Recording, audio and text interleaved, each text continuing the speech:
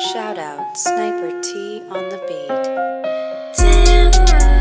Tamara to the break of dawn is on the rise, with life on the forefront of the mind. So, line for line, you can ride this brain train and you can change your station without even touching the dial. So, relax, stay a little bit, but listen for a while. And whether you're bumping this in the whip or in a business fit, it's a meeting you won't want to miss. A meeting for a meal to feed the soul with words for the mind. So sit back, enjoy the ride. Time to take off, it's time to fly. Cause Tamara till the break of dawn is on the rise. Hey, hey, hey, y'all. It's me, Tamra. Tamra. Clappity clap, clap, clap. Yeah. So, thank you so much for tuning in. Welcome to the show. To all of my new listeners, first of all, y'all don't even realize that typically I used to have a studio audience that did all the clapping for me. Um, they are on a unknown amount of time hiatus um, but they will be back. Um, yeah, and I usually talk about my life, my interests, and the ways I'm trying to grow. So come on back through me. You feel me? Mm, I be messing up on my words sometimes too, and I don't edit it out because you gonna just ride my train of thought. And to all my day one, two, 96, 145, 200, right? Because we are getting up there in the weeks, y'all. But whatever week you came in and you decided to keep on coming back through. Thank you so much. Yes, I know it's not me late again. It's been a minute though. I've been on time, y'all, but I'm not going to get into all of the details of this week in depth, but just let me tell you that this week has been a lot in many different ways. There has been a lot of tough stuff this week, a lot of busyness, for many different reasons to celebrate, to get stuff done, um, which with that means like work. And it's just, you know, uh, with the creative team and all that, I this is my first year serving in this role during the Christmas season, which is super busy, bleh, super busy, obviously, because it's like totally when we celebrate Jesus' birthday. So, you know, there's a lot going on with that. And so it has been a time to be alive this year, right? And so, with that, you know, this episode is late, but we're here, guys. We're here. And, um, what do I want to talk about? There's so many things that I want to talk about that I'm not going to talk about because it's too soon to talk about it. But you know, I will talk about, however, this is my favorite time of year in general. I love, love, love, love, love all of the people who have all of the money to spend on their electricity bill to put Christmas lights up outside. I love driving anywhere at night and people have, you know, all the decorations and lights and whatever, especially if it's I'm not expecting it because I used to kind of, I mean, I kind of know what neighborhoods probably will, but I feel like I used to have a better handle on that. And now, like, there used to be neighborhoods that I knew that, like, house after house after house, you could go and there'd be so much stuff. And it really makes my heart happy. Like, I don't know what it is but when I'm driving and just see Christmas lights up and Christmas decorations lit up in people's yard, it just it just does something to my soul. It just makes me so happy. And um so this is my favorite time of year and also what I'm learning just in general is just how much um and you can, you know, do what you want with this, but just how much the Lord will use you. Like after He pulls you through something, I'm seeing how much He will use you to pull other people through similar things. It's not going to be exactly the same as what you went through because everybody's circumstances and like little unique things are going to be different. But like the underlying principle is going to be the same. And I'm just seeing how much and just really how important it is to one, never be ashamed of like what you've gone through. Um, I am very much that way. I'm transparent on here and even more so with people in person just because some stuff you don't want just out there. I try to give as much context to everything I say out there, say on here. However, I know people can edit clips down and do whatever they want and stuff like that. So I try not to put stuff out there. I try to be very thoughtful about what I put on here. That's why there's some stuff I don't talk about on here. Anything I put on here is I don't care who hears it and what they do with it because it just is what it is.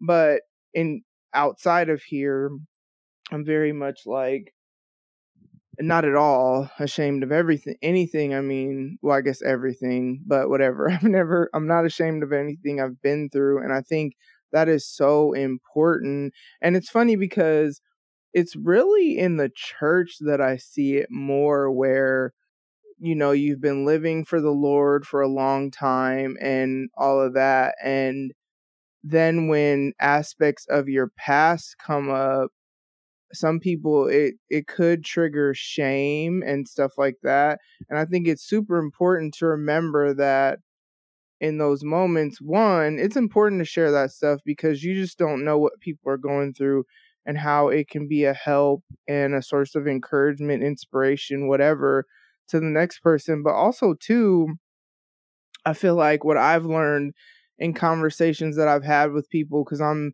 I'm in a place in my life where I'm around a lot of people that their backgrounds and their life or whatever is a lot different than a lot of the stuff that I've been through. And so as we've had different conversations and like parts of my past have come up, kind of like the more extreme things, because we all have stuff. It's just some people go through more extreme things or do more extreme things than others. So then it's like when those aspects of my life comes up, one of the things that has been said is I remember talking to somebody that in or whatever. I remember talking to someone and them saying like wow, I didn't realize how much of your life had been redeemed. And see, that's the thing where it's important to like not have shame and not feel like you can't be transparent about whatever your struggles are especially like when you because I've been at this point living for the Lord for 16 years. And so 16 years into this, there are things that I just they're not a struggle at all. They're not like whatever, right? But when people hear about different things, but then they see how I am now, and so this is my encouragement to whoever it's like when people hear things about your past that are more extreme than the way you're living now, to the point where they can't even fathom that you would be that way because of how much the Lord has changed your life. I think it's important to share that because it just gives God like even that much more glory. Like, wow, I'm I always tell people all the time, if like who I am now is literally only by the grace of God. And I feel like if God can transform my life, because let's even take out the extreme things that I've gone through or done or whatever, we can take that out. We could even just focus on insecurities, fears, mindsets, whatever. Even if we just focus on the internal changes that the Lord made, that maybe everybody is not going to know that was a thing, that in and of itself, I'm always like, if he could do it for me, he could do it for anybody because I'm not, you know, special. And so that's one of the things that has really just come up a lot this week via either things that are going on or just conversations that I've had with people. Um, I'm also seeing how much, and I've kind of said this before, but just how much God equips us to do the things that he needs us to do and he equips us before he has us step into it. And what's so cool is that I'm learning that the equipping stage isn't necessarily going to be where you get those skills doing exactly what he's gonna lead you into. And I don't know why what comes to mind is the Karate Kid movie. And I think about when Mr. Miyagi was training Daniel, he was wax on, wax off, having him wash a car, right? And had him do all these random different things that in Daniel's mind didn't seem like it was actually training, but it was giving him the skills that he needed to have when he was going to be actually fighting. And it's so funny because one of the things I do, um, especially with the some of the subcontracting work that I do, is I create resumes for people. It's one of the things that every one of my subcontracting client gets is a resume. And it's funny because some people because they're teenagers will not have had a job yet and so that'll be the first thing they said like well I've never had a job. And I'm like okay well have you ever babysat your siblings or cousins or whatever? Yeah okay did you get paid to do it or was it volunteer? Because volunteer experience is the same. Oh you got paid. Okay that's technically self-employment. Have you ever you know went around to go shovel driveways or do the yard or you know just different things that even stuff you do around the house and I will I've created it into a job description with the tasks that you're doing within that because at the end of the day you're still getting skills that could be helpful to you in a traditional place of employment and so that's ingrained in me in general because these are the conversations I have with the kids that I work with. But I've actually been thinking about that lately um just with my life like if you would have ever asked me in any universe anywhere in the world if I would have thought that I would ever be in full-time ministry because that's basically what it is with the stuff that I do with the creative team plus I lead a small group and all this stuff um and so, if you would have ever asked me if I would have ever in my life thought I would be doing that. Now, when I say that, like, granted, and never mind, that's irrelevant.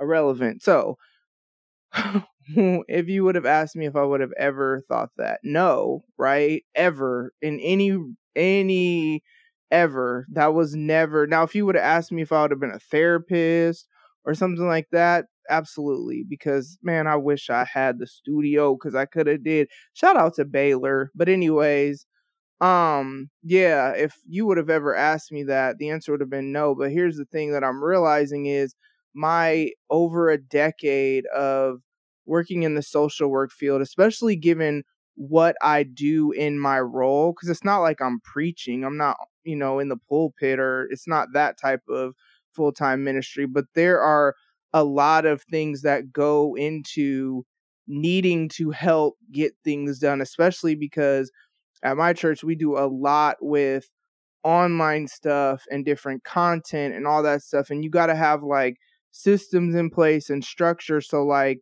I do project management and making sure like things get done and this that and the other and there's and there's so much that goes into that because the way i look at it is it's so funny. I've done so many things and in the past month or so have stepped up in so many ways just to help move a project forward where someone else couldn't or just whatever. Um, whereas like last week I talked about I was gonna host an episode. It didn't it didn't end up happening. And what's funny is I mean, I said I would do it when I was asked to do it, but if I'm honest, I really didn't want to do it. But the only reason I didn't want to do it is just there was a lot of fear just because it's different. Like I host my show every week, have for over 4 years. I've had guests.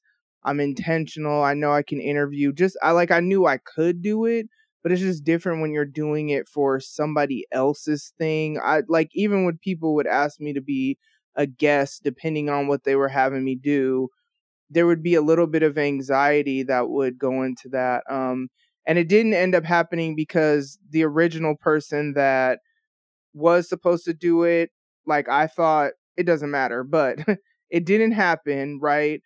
But what I see the Lord, how He used that is that I have this policy right now where if the only reason that I don't want to do something is because I'm scared to do it, like I can't let fear be the reason that I don't do something. And so it's interesting because that's always kind of been my policy, but I've had to really like operate in that more. And so if people, because people always have this perception about you and your life, a lot of people have given or had the perception of me as being fearless.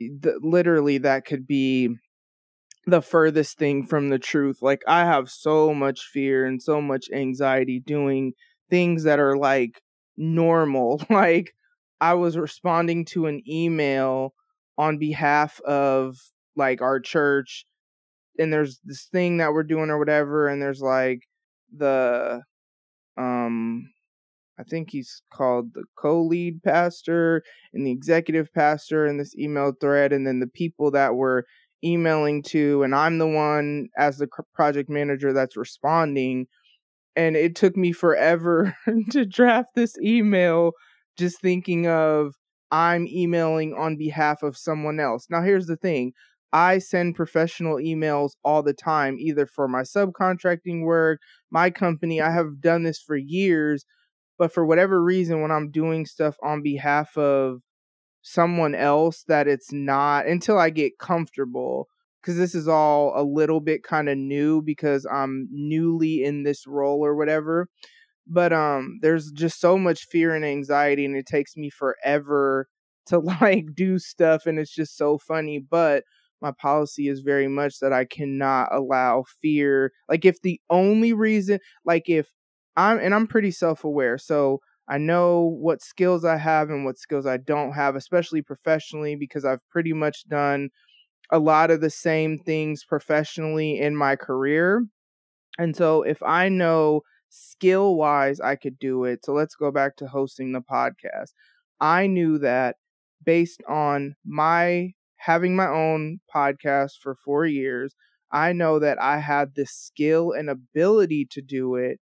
And so, if the only reason I am going to say no to something is because I'm scared, for me, that's not a valid reason. As someone who is big on growth and development, like those are things I'm very passionate about. Like, not staying stagnant, not whatever. And I think it's really, really cool because I've, when I look at my life, I've got to like, I like I remember being in college because I I didn't start college until I was 29 going on 30 and then I graduated with my bachelor's at right before I turned 35 and um it's really interesting because I remember being in college and getting an opportunity to get a job already in the social work field and not realizing that that's not everyone else's like journey because i remember talking to this girl that we were in one of the human services classes i had to take when i was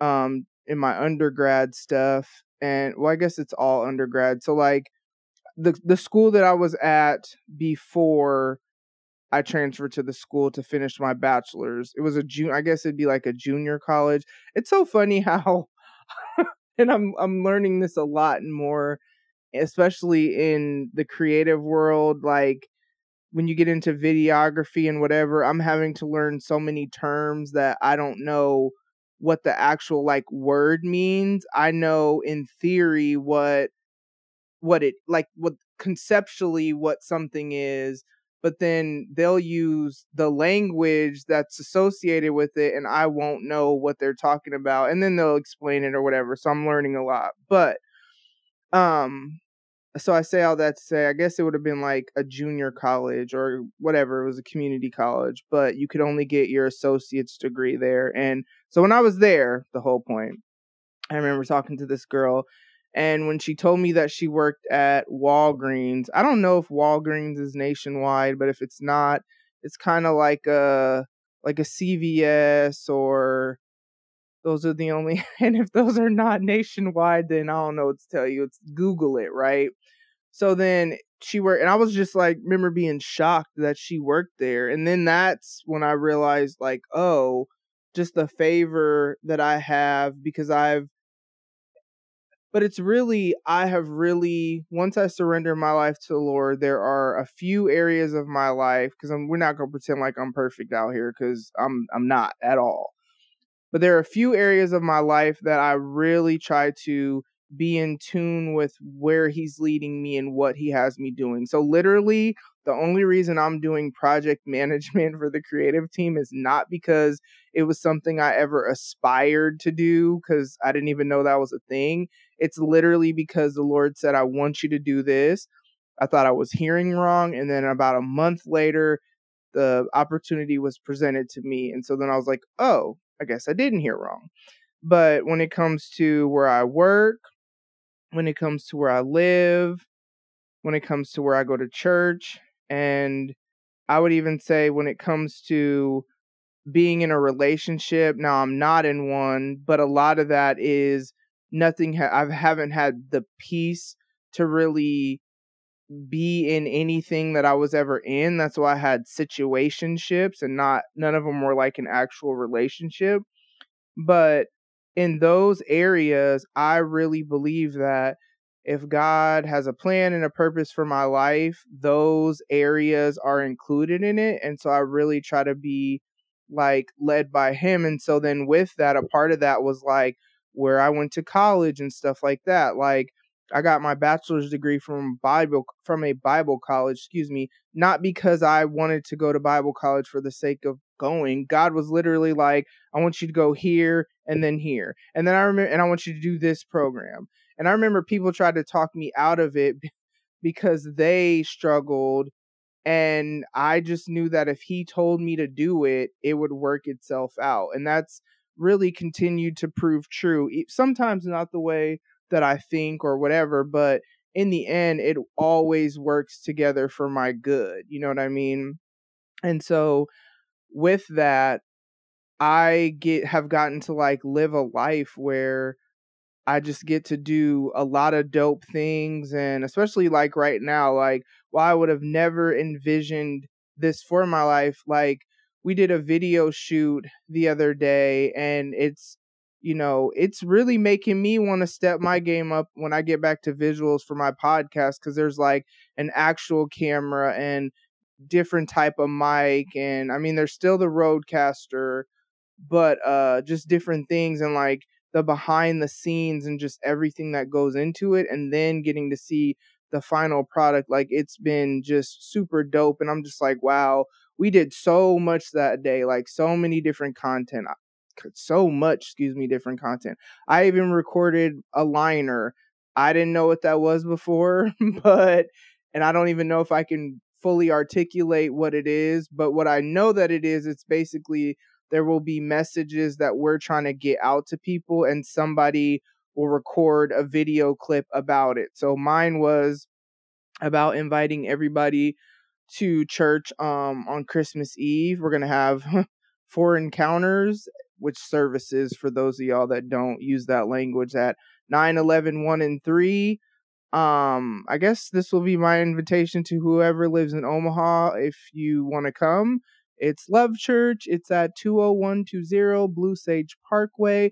The only reason I know that is because I had to say that in the liner. And here's the thing I am on video all the time. Not as much right now in the past couple months, but for sure, I mean, I've had visuals for my podcast forever. I've done all types of videos for my company, etc. When I tell you probably the most stressful thing that I did that day during our content day was recording my liner. I tried to get out of it. I was nervous. I was like kind of fumbling through trying to like remember what I needed to say, but then also not say it too fast, which I was saying it fast because I wanted it to hurry up and be over. All of this in front of people. That's the other thing. When I record my podcast, I'm by myself. Nobody else is there there was the cameraman, the director, and then just people that were just in there that thank God they were in there because they were kind of like helping because they knew I was like nervous and just all these things.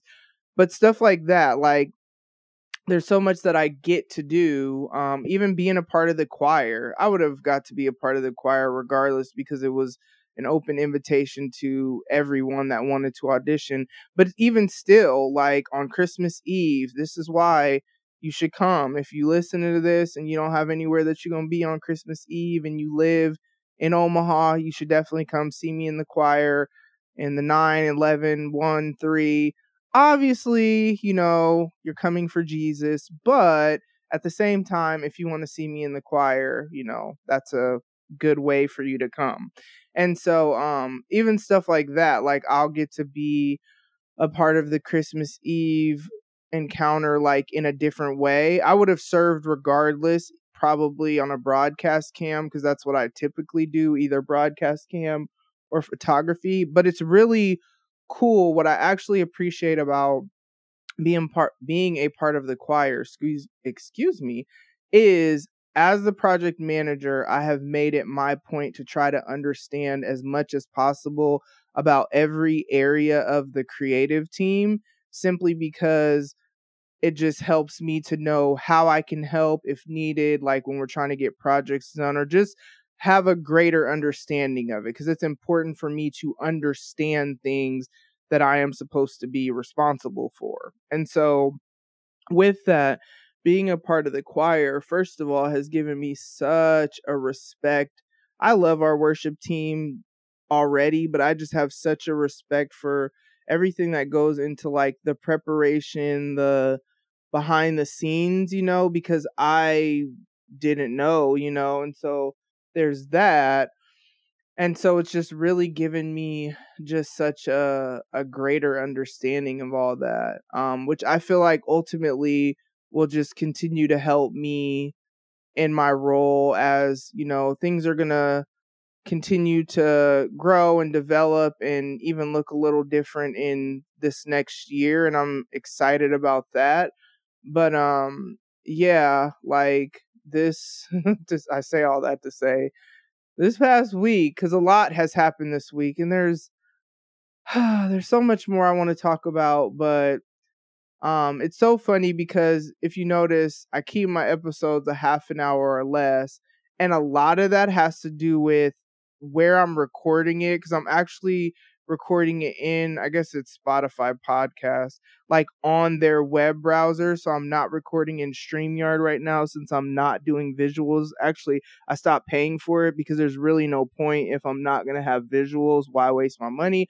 I'll get it back when I get back to it and they have a 30 minute cap in the web browser. I don't want to record it on my phone cuz what? You know what I mean? And so it's really interesting that that's the reason mainly that my episodes are th- it'll be sometimes a little over once I add the intro and outro tracks or whatever in editing but as far as recording episodes are not going to be more than 30 minutes la- uh right now but here's the thing this week it has been a week like and there's man there will come yeah so much has happened this week um there's just I, it's like i often find myself saying like what is happening because there's so much that there's so much that i appreciate that's happening in my life right now that like i don't understand it but it just feels like it's what's supposed to be happening and i see the blessing in it and so i'm extremely grateful but yeah, there's been a lot that's especially this week. There's just been a lot. So I'm going to go ahead and get out of here though cuz it's about that time. So, make sure that you are taking care of yourself mentally, make sure you're taking care of yourself emotionally, emotionally, excuse me. Make sure you're taking care of yourself spiritually and physically. Um, yeah, I've been back on the Snatch 40s journey, um, back at it consistently with CrossFit and it has been a time to be alive. It has been very humbling because I'm there's much more focus on my form where I'm at now and I'm not saying they didn't focus on it before, but it's just really interesting that where I'm at now like I think because they know I've done some before what modification looks like now sometimes is non-existent but is just different. So I'm gonna go though. Uh, make sure that at the end of all that, you are being healthy in your relationships. Thank you so much for tuning in. I love you so much, and I will talk to y'all soon. Bye. Ladies gents, this concludes transmission. Tune in next time for a whole new edition.